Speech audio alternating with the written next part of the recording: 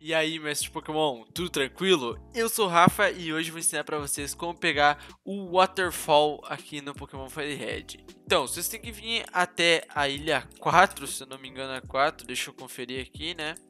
Deixa eu ver. É, a ilha 4.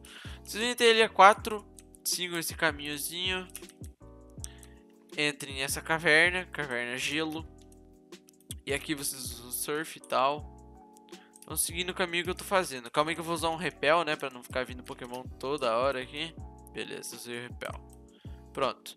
Agora vocês vão fazer o mesmo caminho que eu vou estar tá fazendo para vocês chegarem a... até onde pega o game Waterfall. Que serve para vocês estarem subindo a cascata que tem ali do lado. Vocês quebram aqui. E aí é só estar tá fazendo esse trajeto que eu tô fazendo. Beleza.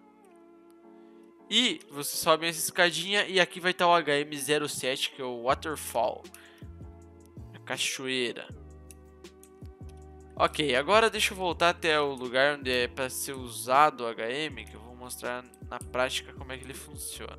Beleza, vocês pegam o Pokémon, é, na real o Pokémon não, vocês pegam a, o tubo TM, cadê aqui o Waterfall, Waterfall, Cachoeira. Clique em usar e selecione o Pokémon do tipo água. Cadê o Lapras aqui?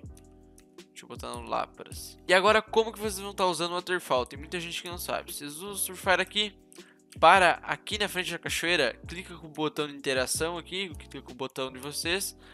E aí ele vai pedir se vocês querem usar o Waterfall, né? Aí vocês usam o Waterfall, vai subir a cachoeira. E é isso, rapaziada. Espero que eu tenha ajudado vocês a pegar o Waterfall. Se eu ajudei, se inscreve, deixa o like e ativa o sininho para receber notificação dos próximos vídeos de Pokémon Fire Red.